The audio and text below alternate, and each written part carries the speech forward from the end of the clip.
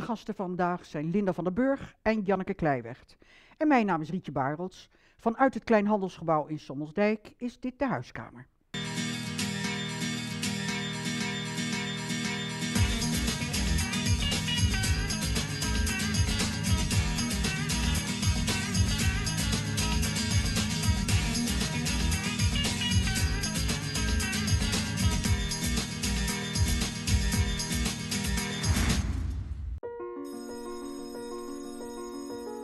Nou, ik ben hier ongeveer een jaar geleden gekomen. En ik heb het hier wel naar mijn zin. Ik heb zo mijn eigen vrijheid. Ik kan doen wat ik wil. We zijn met z'n zessen thuis, dus het is meestal wel gezellig. Er is eigenlijk bijna altijd wel iemand om me mee te vermaken. En ik kan ook alles tegen mijn pleegouders zeggen. Wij zijn pleegouder geworden bij Timon, omdat wij eh, christen zijn. En ook onze eigen kinderen christelijke opvoeding geven. Christine was eigenlijk eh, in het begin heel enthousiast. Ik wat minder nog. Ik wist niet precies wat uh, pleegouderschap inhield. Door de training van Timon ben ik ook uh, enthousiast geworden. Ik zie in uh, Nathaniel toch een enorme ontwikkeling. Van een wat uh, afwachtend meisje naar een ja, meer zelfstandig, onafhankelijk meisje. Wat de eigen ding kan doen met haar eigen vrijheid en haar eigen verantwoordelijkheden. Ja, dat het echt als een bloem is die open gaat om te bloeien. Ja, het voelt hier wel als thuis. Dan komt komt ook mijn, echt mijn eigen spullen heb, mijn eigen kamer en zo. We zien Nathaniel als onze zus. Ze doen wel echt net zo tegen de andere broertjes eigenlijk als tegen mij. Dus wat dat betreft ben ik niet anders. Ja, we zien dat Nathaniel zich hier thuis voelt. Want het contact met ons is heel open. Alles uh, is bespreekbaar. Ja, ik wil later heel graag dokter worden. Uh, ik ga volgend jaar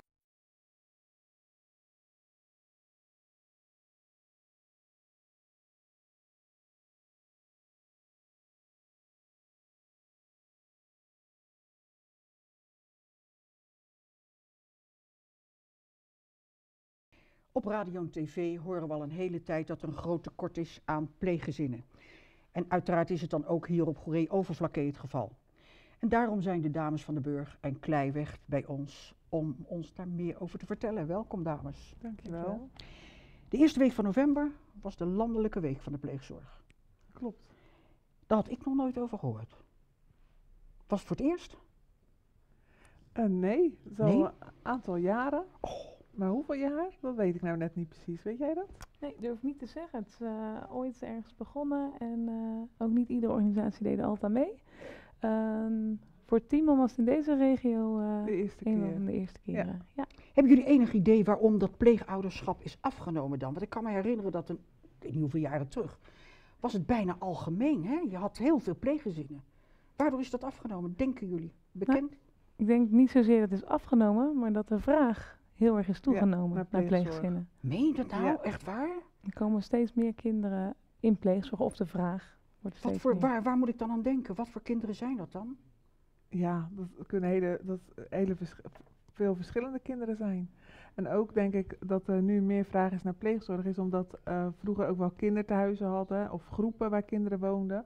En eh, nu willen we eigenlijk echt dat ieder kind in een gezin opgroeit en niet meer eh, op een groep met groepsleiders of eh, maar echt eh, ja, in een gezin mag opgroeien. Nee, maar ik bedoel ook vooral, waar, waar moet ik aan denken? Zijn het dan echt kinderen die ouderloos zijn? Of zijn ze uit de ouderlijke macht ontzet? Of eh, Dat een kan noodsituatie Ja. kan natuurlijk ook. Ja, dat Ja. kan allebei wel. Eh, het komt niet heel veel voor dat eh, beide ouders er niet meer zijn. We hopen dan altijd dat een kind ook zelf een netwerk heeft. Hè, familie of, eh, of, eh, of vrienden, klasgenoten. Maar eh, nee, zijn, Gebeurt dat wel dan, klasgenoten? Dat, een, Zeker. eh, dat een klasgenoot dat, dat Ja. zo'n gezin een kind opneemt? ja, zeker.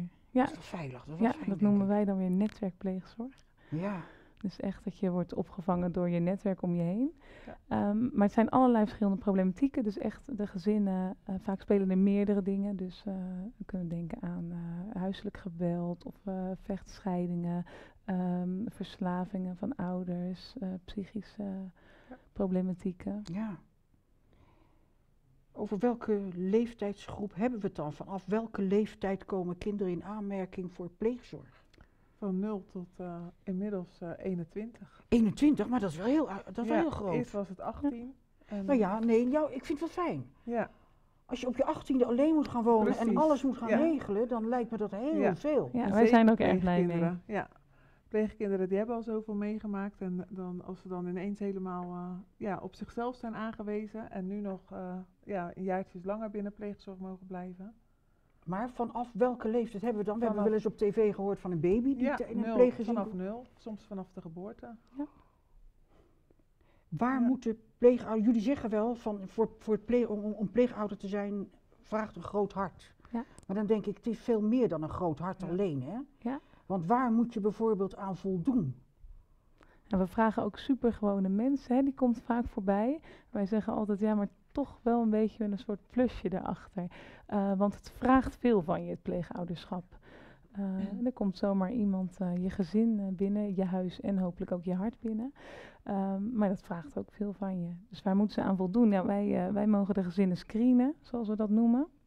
En we hebben een paar eh, voorwaarden waar je echt aan moet doen. Dat is dus eh, 21 jaar oud eh, moet je zijn. En eh, we vragen een verklaring van geen bezwaar op. Eh, dus dat er in het verleden niet Ja, eh, je is gedrag gebeurd. Ja, ja. precies. Ja, en daarnaast eh, vinden we het heel belangrijk kijken we naar de- of je situatie op dit moment stabiel is. En dat kan natuurlijk heel breed zijn. Daar gaan Ja. we over in gesprek. Van, zijn, ben jij of zijn jullie op dit moment zo stabiel Als Dat jullie, ja, dat jullie een kind kunnen opvangen?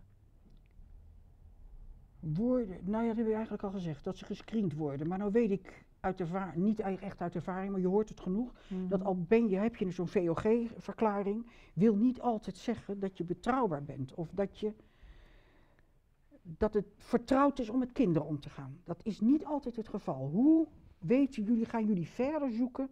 Kijk je meer in het verleden zelf? Dus niet al die, ver- die verklaring, die kan ik aanvragen Ja. ik ben bij een eh, vrijwilligersorganisatie en die, niemand heeft me één vraag gesteld. Nee. Ik heb hem aangevraagd en ik heb hem zo gekregen. Ja.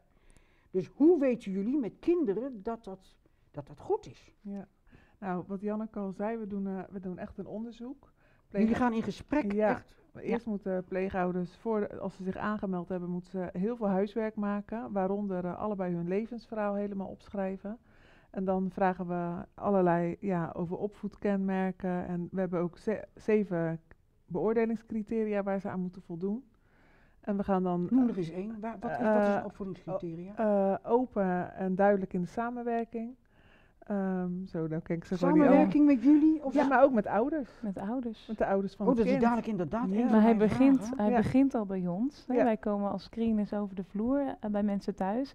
En eh, dan vragen we dus heel veel openheid. Het is ook niet zomaar wat. Wij komen, Ja. eh, komen langs en dan hebben we hun levensverhaal al Ja. gelezen. Eh, maar daar gaan we over in gesprek. Nou ja, dan kan ik in mijn levensverhaal, als ik aardig kan schrijven, Ja. niet zo moeilijk om een leuk verhaal in elkaar Nee. te draaien Nee. hoor. Nee, dat klopt. Maar dan, wij zijn heel nieuwsgierig. Zijn Maar als jullie dus dan vragen heel veel door. Ja, heel veel doorvragen. Ja, maar je kunt je zo voorgenomen hebben van dat ik moet een kind bij mij in huis, dat ik denk dat daar best wegen om zijn. ja. Ja, daarnaast vragen we ook eh, referenties. Dus we gaan ook eh, mensen die zij hebben opgegeven. Natrekken echt. Ja, dus dat kan een familielid zijn, iemand van het werk, eh, het liefst drie verschillende ja, categorieën. Bijvoorbeeld school van de kinderen. En die, eh, die bellen we ook van, goh, hoe zien Hebben die eh, trouwens dan de voorkeur? Gezinnen met kinderen hebben de voor- voorkeur voor pleegouderschap? Maakt niet uit. Want we hebben zoveel verschillende soorten aanmeldingen. Het ene kind eh, voelt zich heel veilig in een gezin waar ook kinderen zijn. En eh, voor het andere kind is het eh, misschien wel prettiger als er Ja. geen eigen kinderen in zijn. Nou denk ik, als het nog jonge kinderen zijn, dan zal het best moeilijk zijn, want die missen papa, mama of papa, mama, weet ik het. Die zullen s'avonds misschien huilen, de eerste nachten. Dat gebeurt allemaal, maar krijg je een tiener in huis, ik denk dat het dan heel anders is. Hoe, stel je dan, hoe leer je dan die pleegouders om grenzen te stellen? Want ik denk dat je als pleegouder ook bang bent, als ik te veel grenzen stel, dan ben ik geen leuke pleegouder en dan gaat dat kind weg. Ja. Ja, je lacht erom, maar dat ja, kan nee, ik me die vraag voorstellen. krijgen Ja. we vaker Ja. inderdaad. Maar eh, ja, als alles helemaal rond is en, eh, en je bent pleegouder en er komt zeg maar de vraag van, goh, willen jullie eh, dit kind opvangen? Dan kom, krijgt er, krijg je een pleegzorgbegeleider erbij. Zijn we allebei ook geweest. voogd, in de vorm van een voogd. Nee, nee. nee. Die staat er nog naast. Ook. Ja. Die- Dit- oh, dat is ook een van mijn vragen. Ja. Want ik denk, oh, als je een beetje pech hebt, dan, krijg je heel veel zit de mensen op tafel dan Ja, krijg je een heleboel mensen Ja. krijg je erbij. Ja, Ja. dat klopt. Die met je mee gaan kijken Ja, in jouw klopt. gezin. Ja. Dat klopt. ja, en daarvoor is die openheid en duidelijkheid in de samenwerking ook zo belangrijk. Is het belangrijk voor jullie ook om de gezinssamenstelling? Zeggen jullie bijvoorbeeld in een gezin met tienerkinderen, daar stoppen we een tienerkind bij, of juist het omgekeerde? Bij kleine kindjes stoppen we een tiener en bij tiener stoppen we een klein. Hoe werkt Ja. dat? Waar kijken jullie naar? Nou, we kijken altijd gewoon naar, echt naar het gezin. Gewoon, ieder gezin is anders. En ehm, bij ieder gezin past het ook wat anders. Maar we hebben wel, wilden ze, eh, als ze eigen kinderen hebben, dan als we een kinder daaronder, als ze een kind daaronder willen, dan houden we daar minimaal twee jaar voor aan. Dat er twee jaar eronder moet zijn. En willen ze een kind boven hun eigen kinderen, dan houden we minimaal drie jaar aan. Dus dat een kind daar boven drie jaar waarom ouder waarom moet dat zijn. verschil? Twee jaar jonger of drie jaar ouder, waarom is dat? Ja, voor de, de ontwikkeling van het kind, zeg maar, eh, bijvoorbeeld oudere kinderen, dat ze eh, niet te dicht in elkaars ontwikkeling zitten. Dus dat ze allebei de ruimte hebben om hun eigen ontwikkeling door te maken. En je wat minder concurrentie krijgt onderling. En vragen jullie dan ook bijvoorbeeld de kinderen van het gezin, ik wil niet zeggen de kleintjes, die zullen het niet Ja. weten, maar als ze iets groter zijn, vragen jullie dan ook wat die ervan Ja. vinden dat er kinderen bij komen? Zeker, Ja. zeker vinden we heel belangrijk. Ja. En als er Ja. daar nou eentje zegt van, nou ik weet het eigenlijk niet, maar papa en mama zeggen, dat vind je van- jij vindt dat, ik weet zeker, jij gaat het heel leuk vinden. Ja. Want papa en mama willen het heel graag. Ja, nee, daar heel gaan, leuk vinden. vragen we ook echt heel erg op door. En eh, gaat, wil zo'n kind dat echt niet, kan die daar niet achter staan, dan gaan, we dat ook niet, dan gaan wij niet door. Dan zou je ook kunnen afvragen, waarom hebben die ouders al doorgezet? Hè? Precies, ja. Ja dat kan Want ik neem aan dat zijn. dat binnen het gezin aanvankelijk Ja. eerst besproken wordt. Ja, Ja, daar gaan en we het wel is vaak natuurlijk wel eh, hè, een, een, een keuze om die stap te zetten van de ouders. Ik bedoel, eh, niet alles wordt denk ik met de kinderen. Nee, ik denk eh, dat aanvankelijk misschien de ouders wel erover praten. ja, maar ik vind het wel heel belangrijk dat ze erachter kunnen staan. Ja. Want ook hoe zou het voor jou zijn als hier een kind bij komt? Wat voor achtergrondinformatie krijgt het pleeggezin? Weten die de redenen waarom een kind bij hun geplaatst gaat worden? Ja, alle, we zeggen altijd, alles wat wij weten, dat krijgen zij ook te horen. Het is wel een beetje afhankelijk van hoe een kind eh, in een gezin binnenkomt. Of dat heel acuut is. Of dat we al, hè, al Ja. wat langer weten en er al misschien een En kennismaking bedoel is je een geweest. crisisopvang of Ja. zo? Crisis, Maar Ja. dat is vaak kortstondig, als het even wil. ja, dat, kan ook wel langer Kan ook lang duren. Ja, ja. ja, alleen de plaatsing is dan heel acuut. Dus dat een kind bij je thuis komt. Maar dat zijn andere gezinnen over het algemeen, hè? Die, eh, die die crisisopvang doen, toch? Ja, we vragen altijd wel wat gezinnen Dat zijn toch niet de gewone, ik dacht niet de gewone pleegouders, toch? Ik Ja, wel. wel. Ja, Toch wel. ook? Ja. Ja. Ja, het is alleen, we hebben verschillende eh, vormen pleegzorg. Eh, je kunt ook kiezen voor kortdurend, hè, dat je zegt van, eh, eh, ja, ik, ik wil, nou ja, een jaar of eh, Ja. een jaar of twee jaar voor een kind zorgen. Eh, maar ik wil me nog niet helemaal vastleggen aan dat pleegzorg. En dan, dan zeg je tegen Ja. ze, dan weet zo'n kind, ik mag in dat Ja. gezin voor twee jaar. Ja, we hebben eigenlijk, als we eerlijk eh, zijn, maken nee, Nee. we- een liefst, liefst hebben we gezinnen die zeggen van, nou kom maar zo lang als nodig. Ja. Want wij kunnen ook niet zeggen aan het begin van de plaatsing, nou, jullie willen langdurige pleegzorg gaan doen. Eh, dit kind komt langdurig bij jullie tot eh, zijn Nee. of haar 21ste. Want er zijn soms factoren waardoor het eh, toch eerder stopt. Ja. Dus zo lang als nodig, ja, dat zouden wij echt geweldig vinden. Hoe, hoe maken jullie een match? Wat zijn criteria waarvan jullie zeggen, dit kind past het beste in dat gezin? Is daarbij religie Ja. of scholing? Ehm, wat voor dingen, wat voor criteria leggen jullie daarvoor aan? Ja, religie, dat is, dat is inderdaad wel eh, belangrijk ook. Want het is goed dat een kind echt matcht met het gezin. Dus we, hebben, we, zien, eh, we krijgen binnen van nou, de aanmelding binnen, wat voor soort kind het is en eh, ook zijn ouders. En we kijken dan van welke gezinnen hebben wij in bestand en wat past er dan het beste. Ehm, en dan zijn zeker kijken we naar religie, maar het kan ook al zijn van nou, hoe is de gezinssamenstelling?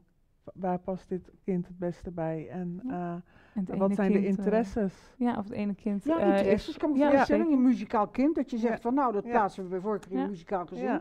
Maar ja, je kunt ook een tiener van 13, 14, Ja. die helemaal wars is van elke vorm van kerkgang of weet ik Ja. veel. En die denkt van nou zal het me niet gebeuren, dan kom ik weer ergens terecht, moet ik weer. Ja.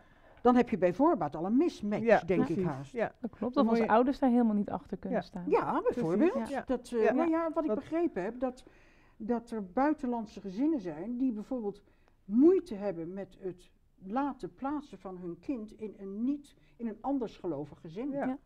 Dat klopt. En dat, dat mag ook.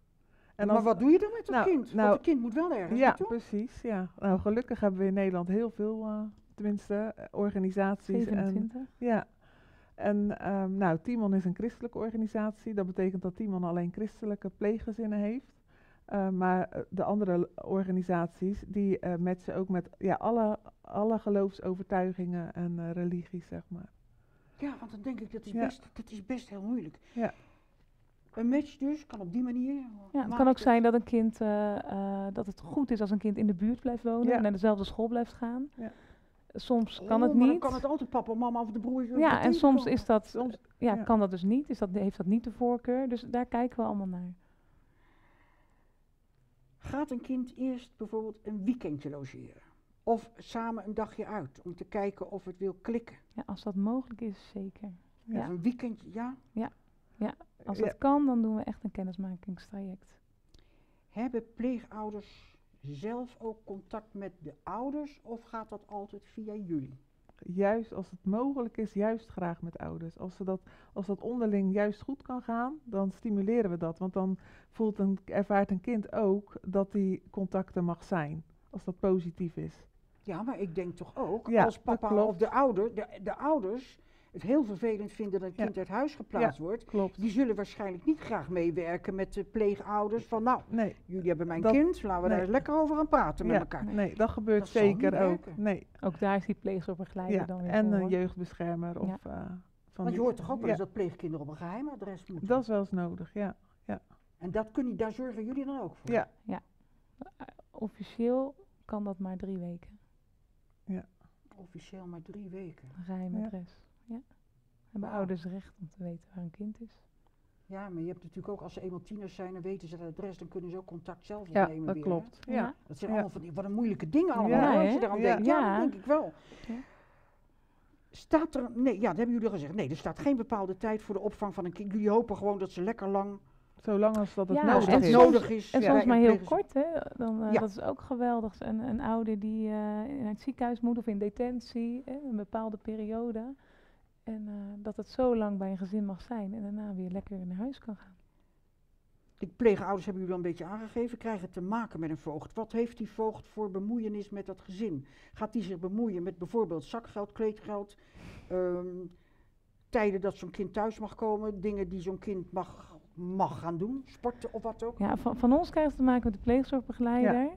En het is afhankelijk eh, van of er een, eh, maatregel is uitgesproken door de rechter. Maar is dat van Of jeugdzorg of is dat Dat van is jeugdzorg, Dat is echt je- Dat is een jeugdbescherming. Ja, ja, dat klopt. En daar hebben wij wel weer heel veel ja. mee te maken. Ja, als, Ja. Het een, als het een maatregelplaatsing is, dan komt er een jeugdbeschermer bij. En die bepaalt mede Mede. Met ouders hopen we eigenlijk. Als ouders en pleegouders. Als, ja, nou, Ouders en jeugdbeschermer. jeugdbeschermer. En de pleegouders krijgen de regels voorgeschreven. Niet helemaal. Het liefst in overleg, Het- in allemaal. overleg. Maar Ja, ouders blijven wel de centraal. Ja, Met, met, de, met de voogd Ja, of de in de meeste gevallen hebben ouders eh, het gezag over het kind of gedeeld gezag. Met de Ja, maar dat lijkt, stel nou dat je dus, er komt een kind eh, drie jaar ouder dan de kinderen in dat gezin. 10, 12 en dan komt er een van 15 bij. Ja, Nou, die heeft andere behoeftes. eh, of, of die denkt, nou, ik wil graag dat en dat gaan doen. Dan gaat de jeugd, eh, de jeugd, hoe heet het? beschermer. jeugdbeschermer, die gaat dan in overleg met de ouders. Ja, over eigenlijk, eigenlijk kijk je in het voortraject op het moment dat een kind in een pleeggezin geplaatst moet worden, dan, dan heeft een jeugdbeschermer het met ouders erover wat vind je belangrijk in een gezin. En eh, ook de pleegzorgorganisatie heeft het daar met ouders of met de jeugdbeschermer over. En daar wordt dan ook een match natuurlijk op gemaakt. Dus in die zin eh, geven we wel pleegouders echt wel een stukje vertrouwen dat ze het mogen gaan doen eh, met het kind zoals, ja, zoals ze het ook eh, in hun gedachten hebben. En hebben Ja. ouders daar ook al in ingestemd. Ja. Of Ja, niet, ouders, dat ja. kan natuurlijk. Nou ja, ik dacht, ik dacht ook van, gaan, gaan, gaan, blijven de ouders ook verantwoordelijk of bepaal, blijven die bepalen of zo'n kind nieuwe kleding moet hebben of krijgen ze een vergoeding. Niet alleen voor de onkosten van, van, van levensonderhoud, maar krijgen ze een vergoeding. Pleegouders Ja. krijgen vergoeding. Krijgen een vergoeding. Dat was vroeger al anders. Hè? Dat, eh, dat, is, dat is wel mooi. En Nee, er pleegouders krijgen een dagvergoeding. een dagvergoeding al naar gelang de leeftijd van het kind. Ja. Dan liggen de eisen ook anders. Ja, precies. Ja. Maar voor alles worden de ouders in principe ingeschakeld. Zolang ouders gezag hebben, is het, is het heel belangrijk dat ze betrokken blijven en dus meegenomen worden in de beslissingen die over het kind genomen worden. En in welke vorm? Ja, daar zijn Ja. duizenden en één voorbeelden Ja. van. We gaan er nou vanuit, het gaat goed. Ja. Maar wat nou als een pleegkind absoluut niet past binnen een pleeggezin en moet naar een volgend pleeggezin? Hoe gaan Mhm. jullie daarmee om? Wat ga je dan doen? Want dat lijkt me voor het kind als zowel de Ja. pleegouders heel moeilijk. Absoluut. Absoluut. Ja. Iedere Wat dan? Maar je weet overplaatsing wel er dat hoe goed je ook denkt van tevoren Mhm. dat het klikt of Ja. het Ja. komt goed. klopt. Ja. Nee, iedere overplaatsing van een kind, dat is er eigenlijk één te veel. Ja. Een kind is al eh, uit huis geplaatst of uit, uit huis gegaan om, eh, om naar een pleeggezin te gaan, omdat er problemen waren. En als het dan weer een keer over moet naar een ander pleeggezin, is dat heel verdrietig en Ja. absoluut niet wenselijk. Maar ja, helaas gebeurt dat af en toe. Ja. En als er een gevaarlijke situatie thuis is, mijn slotvraag, als er een heel gevaarlijke, een, toch voor het kind een gevaarlijke situatie thuis is, wordt zo'n kind dan bijvoorbeeld aan een andere kant van het land geplaatst, zonder wel bekend te maken aan de ouders waar zo'n kind verblijft? Als dat nodig is, als het nodig is voor de veiligheid van het kind, ja. Maar dan zijn die ouders misschien nog niet uit de ouderlijke macht ontzegd. Nee. Maar Nee, maar dat is- dan gaat dat heel snel vaak. Dan, als dat echt nodig is, als die veiligheid echt in het geding is, dan wordt daar, worden de spoedmachtigingen gedaan. Dan, eh, dan kan de, de rechter kan midden in de nacht een eh, beslissing nemen, zeg maar. Machtiging uit huisplaatsing. februari, dan gaan jullie Ja. weer hier op Goree Overflakkee een actie 13 ondernemen om februari. Gezinnen te werven. Ja. Doe een oproep. Ja, Doe een oproep op de camera. Ik denk die camera van Wim. die camera. Eh 13 februari, iedere maand geven we informatieavonden voor Timon. En dan geven we de eerste informatie over pleegzorg. Wat houdt pleegzorg in? Eh, wat is het? Zou het iets voor mij zijn? Zou het Ja. iets voor mijn gezin zijn? En 13 februari zijn we op Goree. Eh www.timon.nl staan ze op of eh www.deeljethuis.nl. Dat is onze campagne. Daar staan alle locaties en data. Ik Welkom. Ja, welkom. Ik wens jullie heel veel succes. Ik hoop dat zich veel pleegouders aanmelden. Hoe heeft match ook- we kunnen maken. ja, maar het heeft meer, ook eh, iets heel moois ja. natuurlijk. Hè? Het is heel bijzonders. Absoluut. Absoluut. Dus heel veel succes. Dankjewel. Dankjewel. En blijf nog even zitten, dan sluit ik af. Ja. Dat was het voor deze week. En volgende week ben ik terug met een ander onderwerp en andere gasten. En als u thuis nu denkt, ik heb een activiteit, een hobby of een onderwerp waarover ik graag eens met haar van gedachten wil wisselen, neem dan contact met ons op. Dat kan via huiskamergo.kpnplanet.nl. Deze uitzending is terug te zien via Slogo, maar ook via Ziggo kanaal 36 en KPN kanaal 1371. Verder is deze uitzending terug te zien via www.huiskamervanvlakke.nl en via mijn eigen Facebookpagina. Graag tot volgende week.